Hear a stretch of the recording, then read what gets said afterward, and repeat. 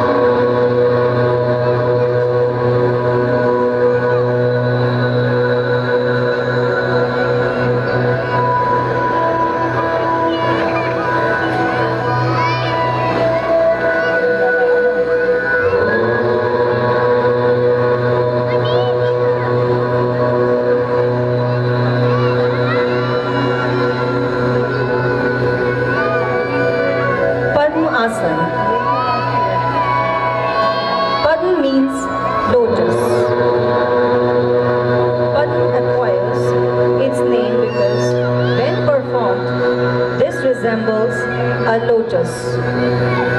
इस मुद्रा को करने से मन शांत ध्यान गहरा होता है कई शारीरिक विकारों से आराम भी मिलता है इस मुद्रा को नियमित रूप से करने से साधक कमल की तरह खिल उठता है Uttana Pad Asana.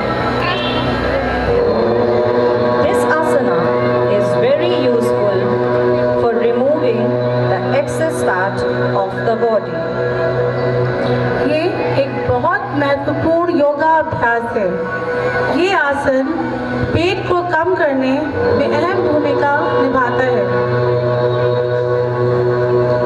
वृक्ष आसन। वृक्ष means a tree in this asana the body assumes the shape of a tree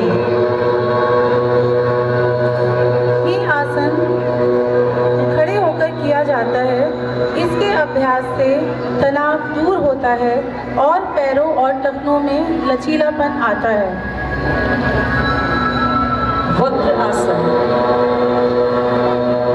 In this asana, the upper part of the body is completely turned and twisted. इस आसन के अभ्यास से liver kidney pancreas प्रभावित होते हैं जिससे ये अंग निरोगी रहते हैं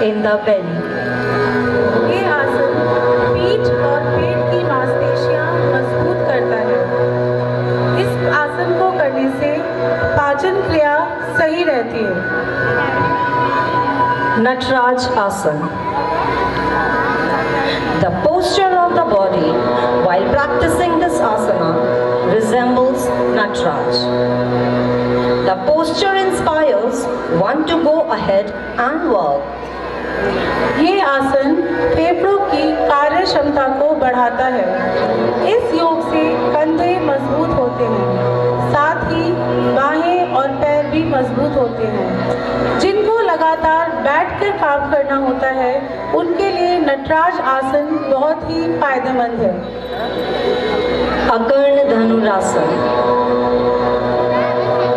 This asana resembles a strong bow. So it is called Akarna Dhanurasana. ये आसन पैरों में लचीलापन लाता है इसके अभ्यास से हाथ पैरों के जोड़ के दर्द दूर होते हैं इसको करने से पेट पीठ और छाती के रोग दूर होते हैं Sarvang Asana. This is one of the most important asana. It literally means parts pose ये आसन थकान और दुर्बलता को दूर करता है। इस आसन से एकाग्रता और बुद्धिमत्ता में वृद्धि होती है। ये आसन दमा से पीड़ित व्यक्तियों के लिए बहुत उपयोगी है। त्रिकोण आसन।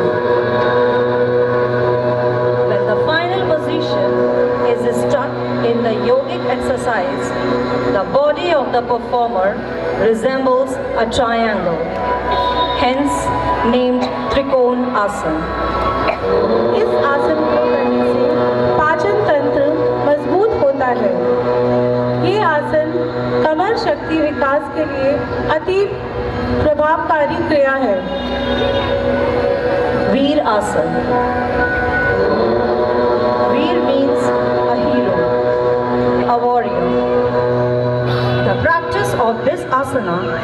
Increase appetite. ये आसन जांघों घुटनों और टखनों में खिंचाव लाता है। हाई बीपी और अस्थमा के लिए लाभकारी है। ये आसन मन को संतुलित करता है एकाग्रता की शक्ति को बढ़ाता है। चक्र आसन।